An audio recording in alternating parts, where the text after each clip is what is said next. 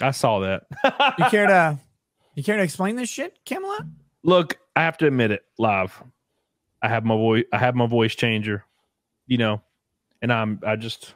I was trying to double dip. Okay, and phase. By the way, it's just me. I'm Fishman too. This whole time. Uh, you want to hear the phase vo- the the Pipco, Pipco voice? Mm-hmm. I do. Hey, fuck you, Rockets. Fuck you. Okay. Damn it. yeah, fuck Rockets. Well, the good part about this reveal, the good part about this reveal finally being out is now the guys jerking off to Pippa know that if they actually came on Pippa's chest, it'd be on bigger tits because it's on yours.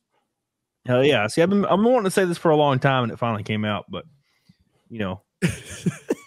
yeah, yeah. They thought I was the run with the, the one tooth rabbit. I didn't clean up after myself. But no, I was just uh, gamble all along. Get on it, dog on it.